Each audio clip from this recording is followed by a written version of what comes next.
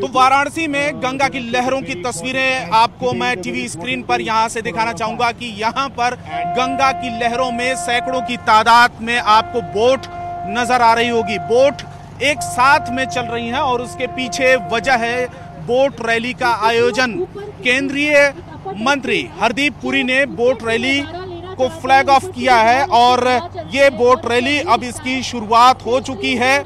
इस boat rally के पीछे मकसद ये है कि कई सैकड़ों की संख्या में 500 से ज़्यादा ऐसी नावें हैं जो डीजल में चलती थी और डीजल आधारित वो नावें चलती थी, लेकिन अब उन्हें सीएनजी में कन्वर्ट कर दिया गया है। और ये देखिए, कंपटीशन इस समय चल रहा है।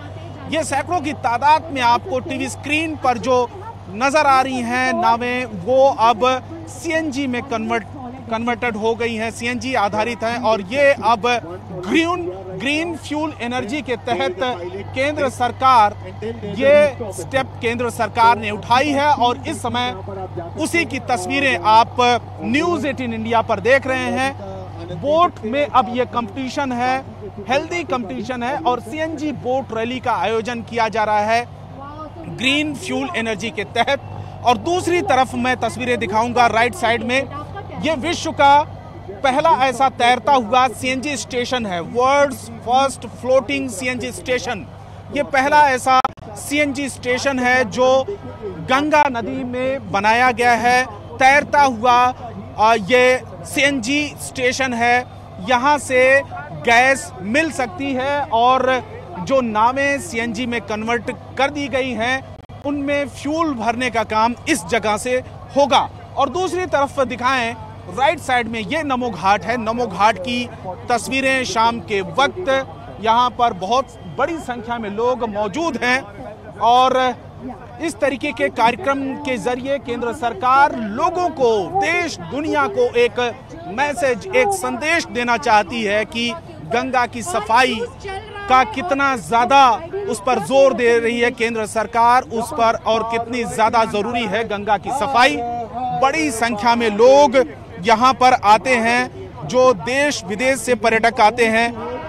आज जब गंगा, ये गंगा के लहरों पर जैसे ही रैली के आयोजन का कार्यक्रम रखा गया, उसके बाद दोपहर के एक बजे के बाद से रात के आठ, नौ बजे तक इस जगह पर जो सैर सपाटे के लिए लोग आते हैं, आम दिनों में जो नावें चलती हैं, उन पर प्रतिबंध लगा दिया गया था।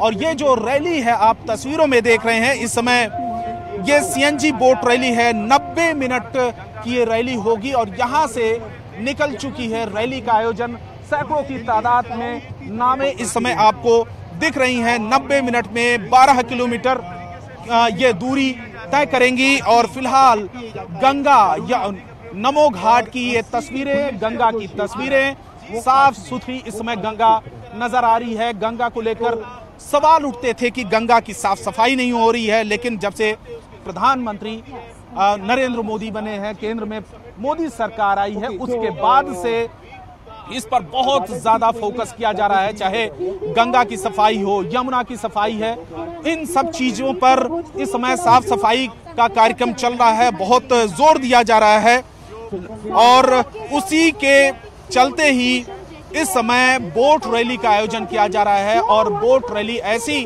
जो नावें इस समय अब सीएनजी से चल रही हैं। इस कार्यक्रम में केंद्रीय पेट्रोलियम मंत्री हरदीप सिंह पुरी के अलावा राज्य सरकार के भी मंत्री शामिल हुए हैं, अधिकारी शामिल हुए हैं और केंद्र सरकार की लगातार यही कोशिश।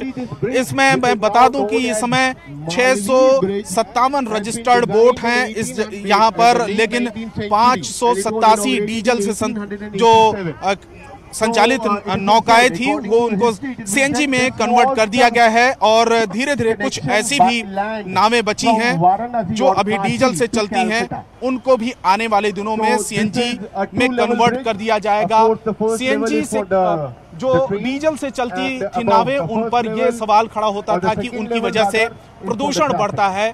और गंगा प्रदूषित होती थी, शहर प्रदूषित होता था, लेकिन अब डीजल की तमाम वो बोट, वो नावें सैकड़ों की तादाद में उन पर प्रतिबंध लगा दिया गया है। और अब ग्रीन फ्यूल एनर्जी के तहत केंद्र सरकार आगे का काम कर रही है और उसी के तहत अब तमाम उन नावों को, तमाम उन बोट्स को सीएनजी में कन्वर्ट कर दिया गया है और इस जगह पर जहाँ पर हम मौजूद हैं ये क्रूज है इसी क्रूज में केंद्रीय मंत्री केंद्रीय पर्यटन केंद्रीय मंत्री हरदीप सिंह पुरी मौजूद हैं पेट्रोलियम मंत्री।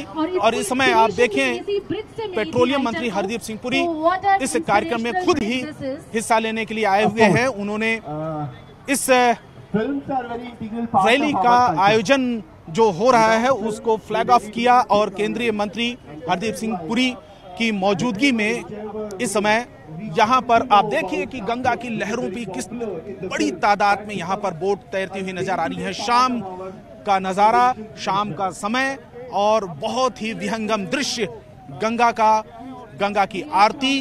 और इसके अलावा दूसरी तरफ़ क्रूज पर सवार केंद्रीय मंत्री हरदीप सिंह पुरी, उनके साथ में उत्तर प्रदेश सरकार के मंत्री, इसके अलावा अधिकारी, बड़ी संख्या में अधिकारी यहाँ पे मौजूद हैं। लेकिन इस बीच में जो रैली का आयोजन किया गया है, वो इसलिए किया गया है कि देश दुनिया को बनारस को मैसेज दिया जाए कि गंगा की सफ़ाई कितनी ज़रूरी है, क्योंकि उन तमाम नावों को जिन पर ये कहा जाता था कि जिनकी वजह से प्रदूषण बैठता, बढ़ता है, प्रदूषण फैलता है, उनको अब सीएनजी में कन्वर्ट कर दिया गया है। कैमरामैन राजेश के साथ Ravi Singh, Varanasi news eighteen India